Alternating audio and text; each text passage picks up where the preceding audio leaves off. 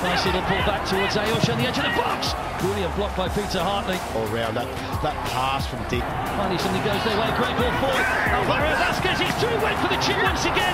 And Sabia just gets there and clears it off the line. Ball through, great combination, and Vasquez did exactly the same technique.